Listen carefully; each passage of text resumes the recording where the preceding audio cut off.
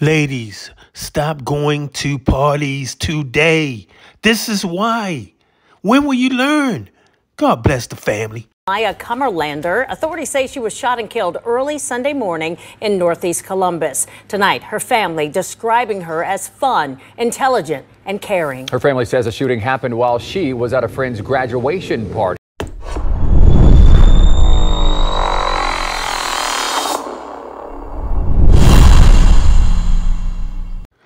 Ladies, don't go to parties today.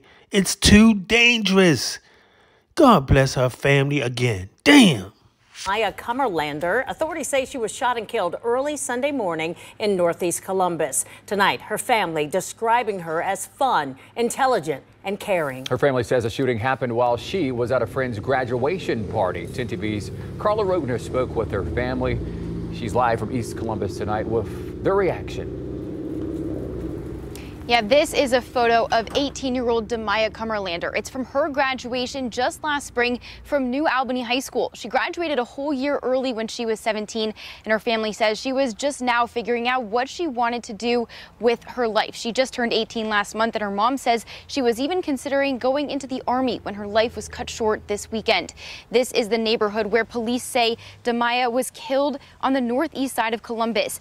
It happened just after midnight in the 2600 block of Woods Edge Road. Police got there around 1230 and found Da'Mya with a gunshot wound. She died about 15 minutes later. Da'Mya's family says she was at a party to celebrate a friend's graduation. I talked to her parents today. They tell me that Da'Mya was fun to be around and always the life of the party and did not deserve what happened to her. Everybody's just devastated and speechless right now. Um, it's just hard to cope with to think that somebody would be that evil to do something like that for no reason. She got for nothing. For nothing. She didn't do anything to nobody.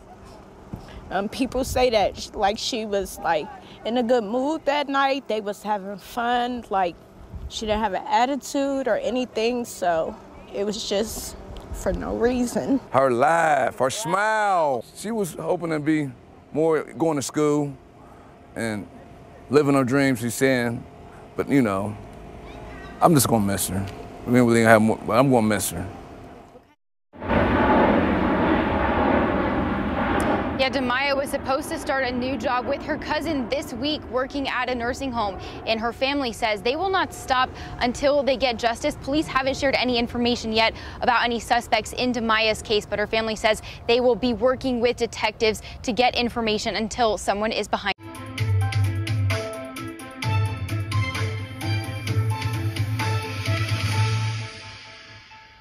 TV News 4 starts with breaking new details. Columbus police have arrested a suspect in the death of 18-year-old Da'Mya Cummerlander. Less than an hour ago, Columbus police say 20-year-old Kenneth Hairston is facing two charges. One of them is involuntary manslaughter. He's being booked at the Franklin County a crucial reminder here help is available if you or anyone you know is a victim of domestic violence.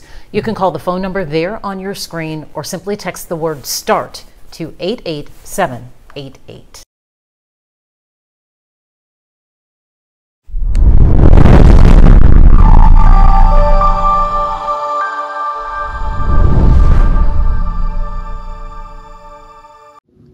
Thanks for watching.